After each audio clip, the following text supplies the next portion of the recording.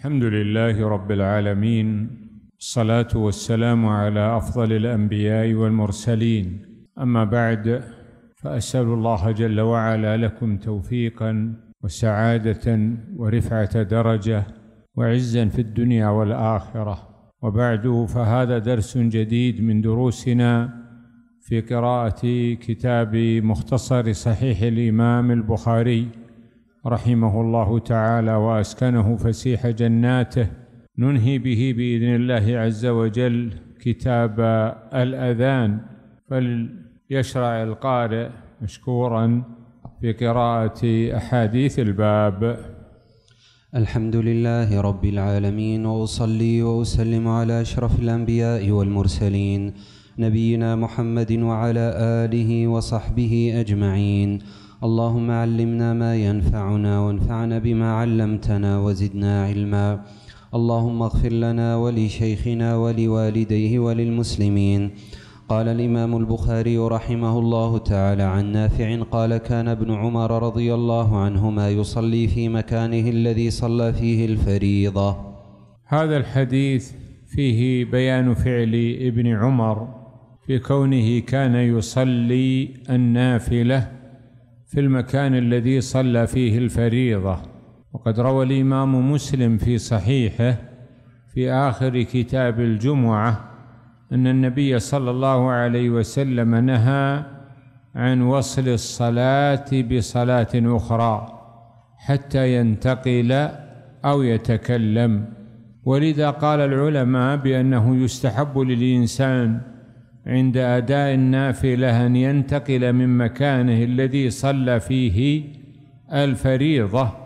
وقد أوجب بعض أهل العلم هذا وبعض العامة يظن أن السبب في هذا هو أن تشهد له بقاع كثيرة بكونه قد صلى فيها.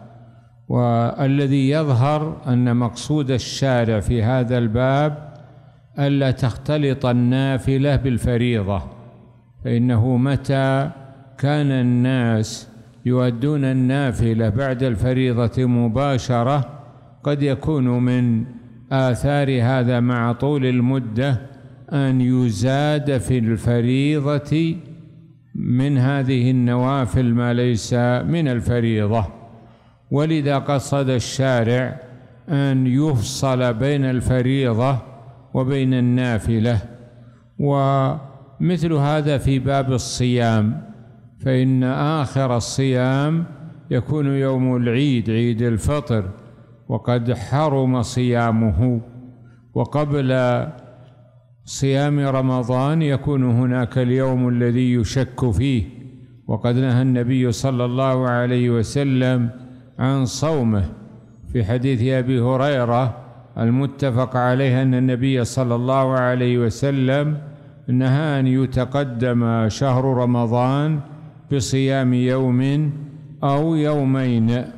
ومن هذا المنطلق نهى الشارع عن وصل صلاة الفريضة بصلاة نافلة لئلا يظن بأنها منها مع طول الزمن. ولكن إذا كان هناك فاصل من كلام أو حديث أو نحو ذلك فلا حرج في أن يصلي الإنسان النافلة في المكان الذي صلى فيه الفريضة. نعم. أحسن الله إليكم. قال عن عقبة بن الحارث رضي الله عنه قال صليت وراء النبي صلى الله عليه وآله وسلم بالمدينة العصر فسلم ثم قام مسرعا فتخطى رقاب الناس ودخل على بعض حجر نسائه ففزع الناس من سرعته فما لبث أن خرج عليهم فرأى ما في وجوه القوم أنهم عجبوا من سرعته فقال ذكرت وأنا في صلاة شيئا من تبر كنت خلفت في البيت من الصدقة عندنا فكرهت أن يمسي عندنا وأن يحبسني فأمرت بقسمته. قوله هنا صليت وراء النبي صلى الله عليه وسلم فيه أن المأمومين يصلون خلف الإمام ولا يكونون بجواره ولا أمامه. وقوله بالمدينة العصر فسلم ثم قام مسرعا فيه أنه بمجرد الفراغ من الصلاة يجوز للإنسان أن يقوم ولا يكون من الواجب عليه أن يذكر أذكار الصلاة وإن كانت هذه الأذكار مستحبة. وفيه أنه إذا عرض للإنسان الحاجة التي تقتضي سرعته خصوصا إذا كانت لمعنى شرعي فلا بأس أن يقوم مسرعا بعد الصلاة. وفي الحديث جواز تخطي رقاب الناس إذا كان لمصلحة شرعية فإنه قال فتخطى رقاب الناس. ومن هنا قال الإمام البخاري باب من أسرع في مشيه لحاجة أو قصد. وقال من صلى بالناس فذكر حاجة فتخطاهم. وفي الحديث أن بعض حجر النبي صلى الله عليه وسلم لم تكن في جهة القبلة وأنها كانت في غير جهة القبلة. وفي الحديث نسبة بيوت الإنسان إلى زوجاته ونسائه. ولذا قال حجري نسائه مع أن هذه البيوت للنبي صلى الله عليه وسلم. وفي الحديث أن الإنسان قد يذكر الشيء في الصلاة قد يفكر فيه فلا يبطل ذلك الصلاة. فإن النبي صلى الله عليه وسلم قد تذكر هذا التبر وهو في صلاته. وفي الحديث أنه إذا ظن الإنسان أن الآخرين قد استغربوا من فعله وعمله فلا بأس أن يبين لهم سبب عمله ليزول عنهم سبب التعجب الذي يكون لديهم. وقوله من تبر وشيء من معادن إما من ذهب أو فضة أو نحاس. وكان قد ذكر أنها بقيت في البيت وفي الغالب أنها من ذهب فأراد أن يبادر إلى إخراجها. وفي الحديث مشروعية المبادرة إلى إخراج الصدقات التي ترد إلى الإنسان. وفي الحديث أن الإنسان متى أمر بقسمة الصدقة وسلمها لمن يقسمها برئت ذمته بذلك.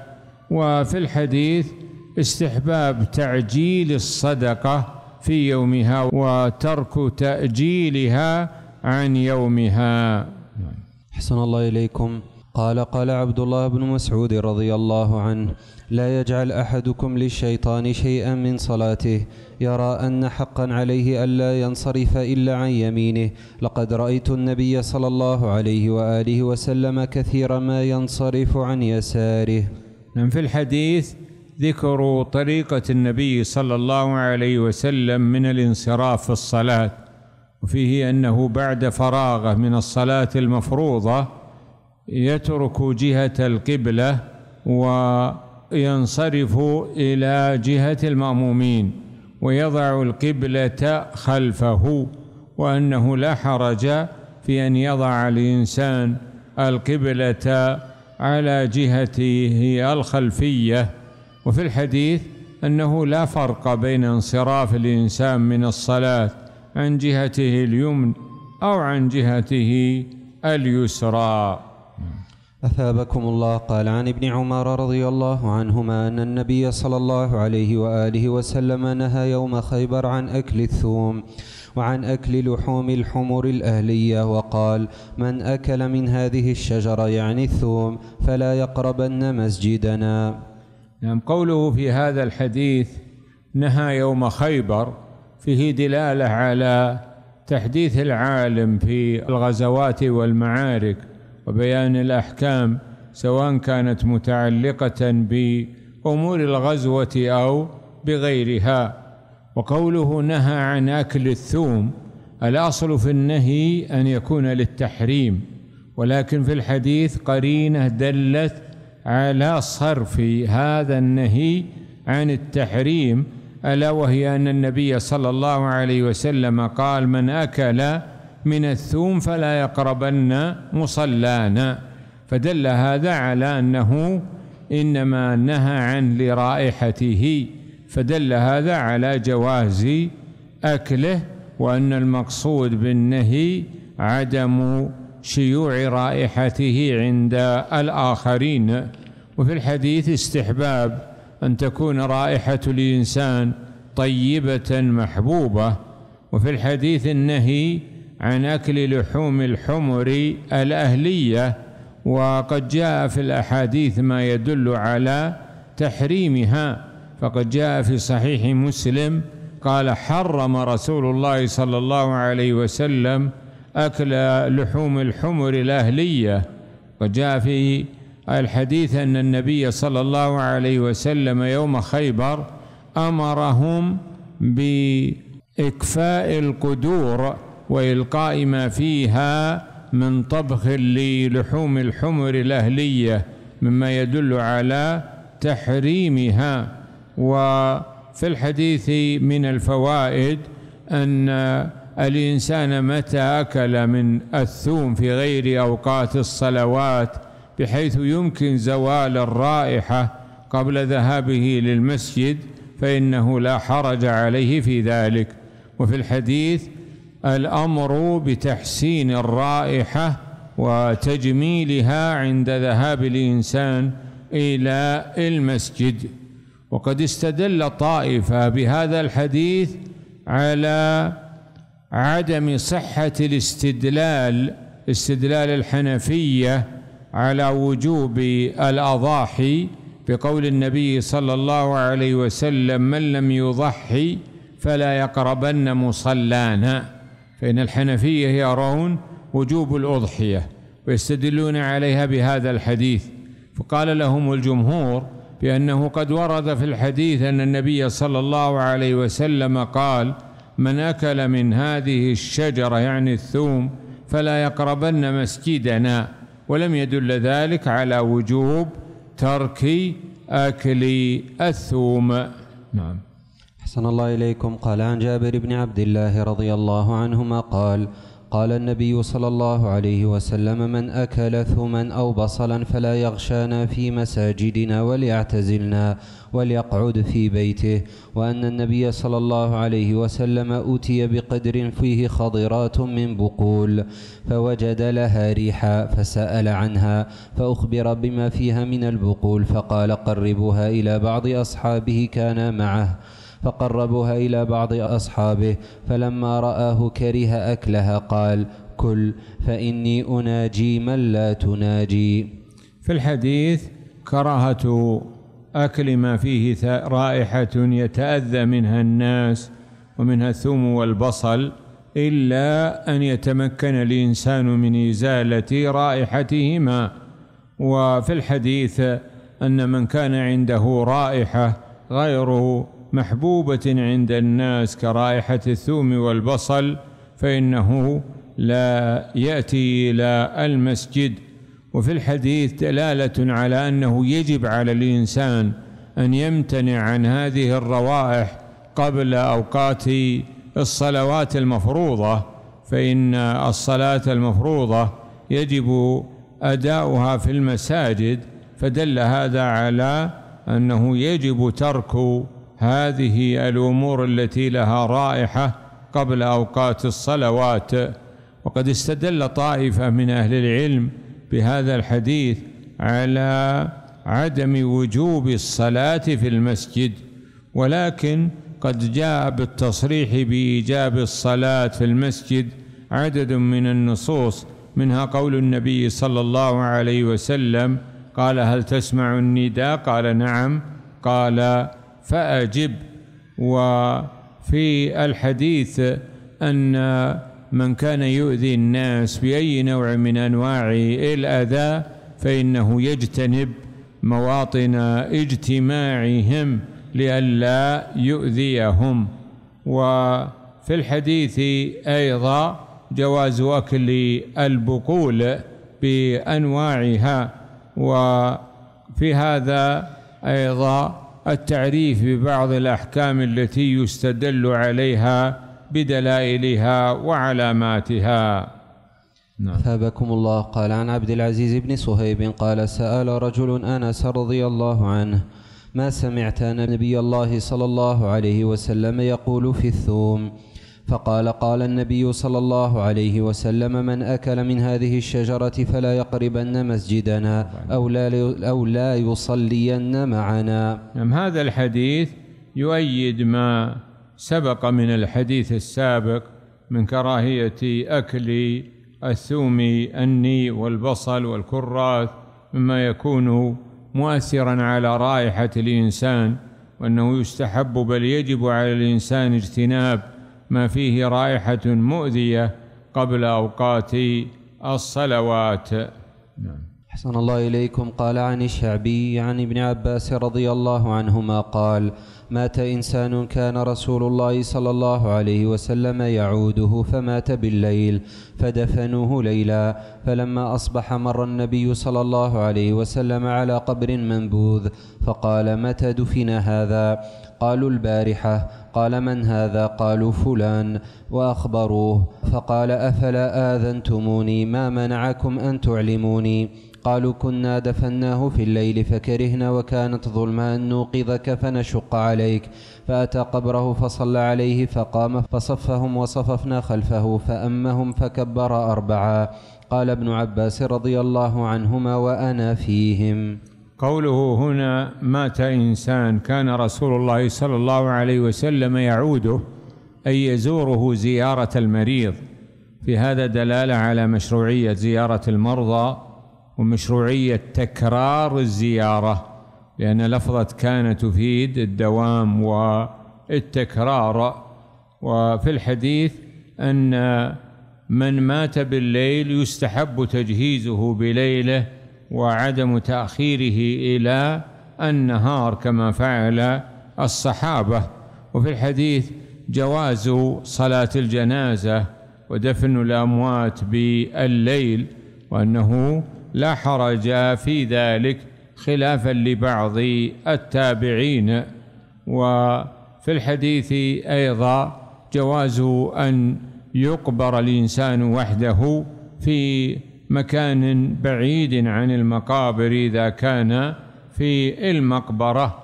وفي الحديث سؤال الإنسان عما يحدث حوله من الوقائع ومن متغيرات الأمور خصوصا إذا كان له ولاية كما سأل النبي صلى الله عليه وسلم هذا السؤال متى دفن هذا؟ وفي الحديث أيضا السؤال عن أخبار الآخرين وما حصل عندهم. وفي الحديث جواز الإعلام بموت الميت من أجل أن يصلى عليه وأن يشارك في دفنه. ولذا قال النبي صلى الله عليه وسلم أفلا آذنتموني؟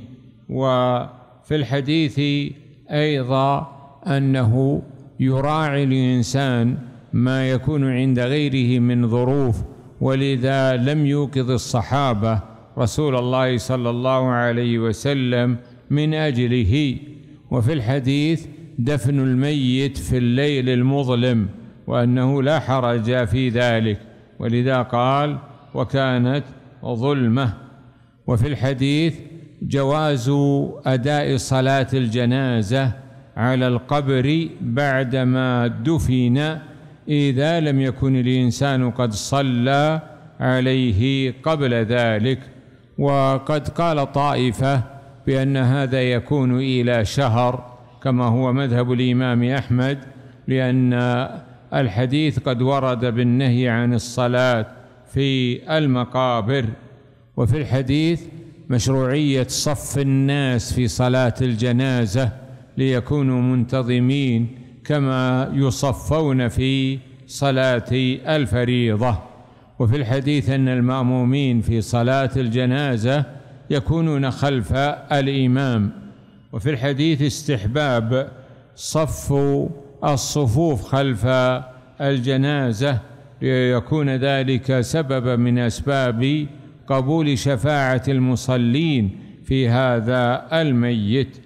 وفي الحديث مشروعية تكرار صلاة الجنازة فإن النبي صلى الله عليه وسلم قد صلى على هذه الجنازة جماعة وكانوا قد صلوا عليها قبل ذلك. وفي الحديث صلاة صغار السن على الجنائز كما هو الشأن من ابن عباس رضي الله عنهما.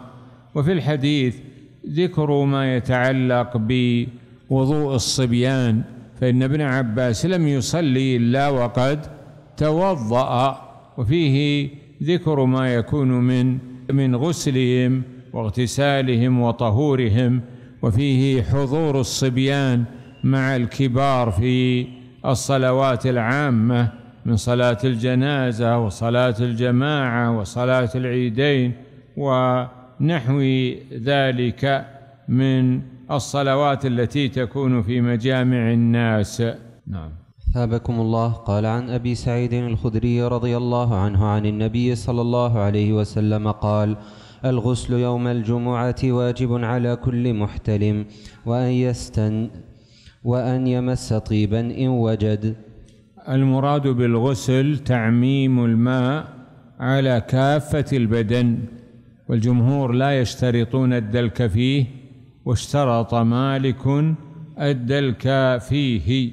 وقوله الغسل يوم الجمعة دليل على أن غسل الجمعة إنما يبتدئ من الفجر وأنه لا يدخل في حكمها الاغتسال الذي يكون بالليل لأن هذا غسل ليلة الجمعة وليس غسلا في يوم الجمعة. وقوله واجب ظاهره أنه لازم يأثم تاركه. ولذا قال بعض أهل العلم كبعض الظاهرية بأن غسل الجمعة واجب والجمهور على عدم وجوب غسل الجمعة وعلى أنه من المستحبات ويستدلون على ذلك بقول النبي صلى الله عليه وسلم من توضأ يوم الجمعة فبها ونعمت والغسل أفضل. وقد ورد في أجور يوم الجمعة في حديث أبي هريرة في صحيح مسلم قال من توضأ يوم الجمعة الحديث قالوا فدل هذا على أن الوضوء كاف وحملوا قوله واجب في هذا الحديث على أن المراد به أنه متأكد وأنه ليس المراد به الوجوب الاصطلاحي. وقوله على كل محتلم يعني على كل بالغ فهذا يشمل الذكور والنساء. واستدل به على اختصاص هذا الحكم بكبار السن لكن جمهور أهل العلم يرون استحباب غسل الجمعة حتى للصبيان. وقوله وأن يستن يعني يأخذ السواك ويستعمله. وفيه استحباب استعمال السواك وتأكد استحبابه في يوم الجمعة. وفي الحديث الترغيب في آه، الطيب وخصوصا في يوم الجمعة. أحسن الله إليكم. قال عن ابن عمر رضي الله عنهما عن النبي صلى الله عليه وسلم قال إذا استأذنكم نساؤكم بالليل إلى المسجد فأذنوا لهن.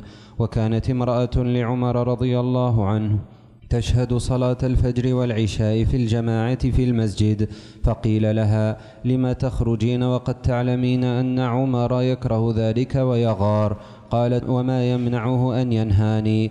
قال يمنعه قول رسول الله صلى الله عليه وسلم لا تمنع إماء الله مساجد الله. في هذا الحديث جواز خروج النساء إلى المساجد بالليل وفي الصباح. وفي الحديث أيضا أن المرأة لا تخرج إلى المسجد إلا بإذن الزوج. وفي هذا دلالة على أن عقد الزوجية يلزم المرأة بالبقاء في بيت الزوجية وأنها لا تخرج إلا بإذن من الزوج أو شرط عليه في عقد النكاح. فيكون من مقتضى عقد النكاح بقاء المرأة في بيت الزوجية لأنه إذا ألزمها بالاستئذان في الخروج للمسجد دل هذا على إلزامها بالاستئذان للخروج إلى غيره. وقوله فأذنوا لهن هذا فعل أمر.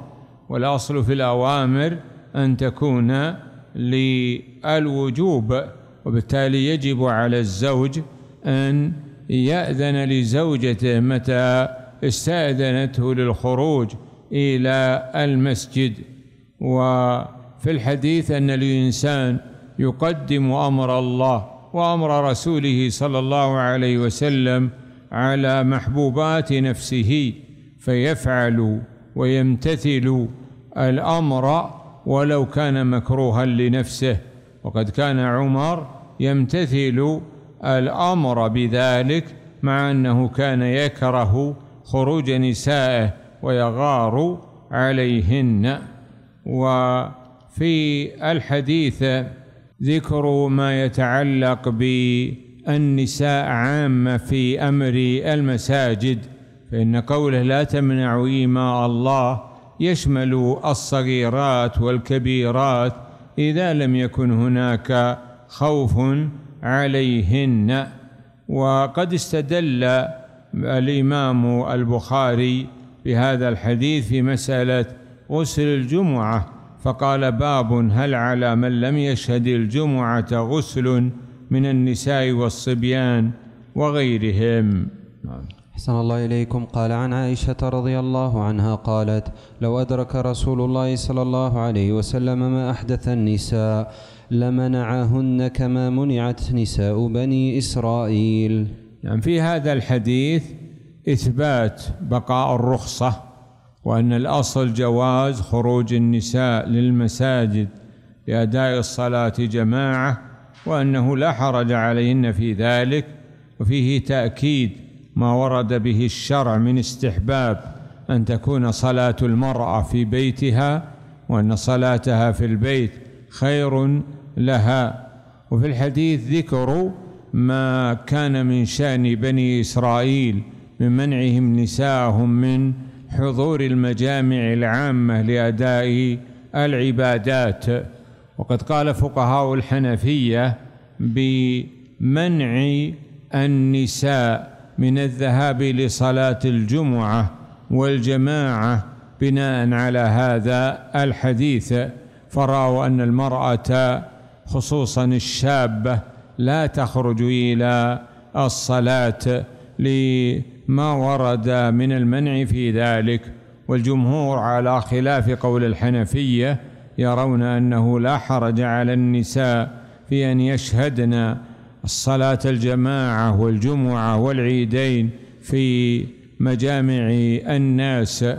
وحديث الباب إنما هو اجتهاد من عائشة رضي الله عنها وليس بمرفوع للنبي صلى الله عليه وسلم وما سبقه من الأحاديث أمور صريحة في كون النبي صلى الله عليه وسلم قد أذن للنساء بالخروج إلى المسجد والصلاة في المساجد. بارك الله فيكم وفقكم الله لكل خير جعلني الله وإياكم من الهداة المهتدين. نسأله سبحانه أن يرزقنا علما نافعا وعملا صالحا ونية خالصة كما نسأله جل وعلا أن يصلح أحوال المسلمين في مشارق الأرض ومغاربها. اللهم احقن دماءهم واجمع كلمتهم وألف ذات بينهم وابسط لهم في أرزاقهم وافتح لهم سبل الخيرات واهدهم بهداية من عندك كما نسأله جل وعلا أن يوفق ولاة أمرنا لكل خير وأن يبارك فيهم وأن يجعلهم من أسباب الهدى والتقى والصلاح والسعادة للناس أجمعين. هذا والله أعلم.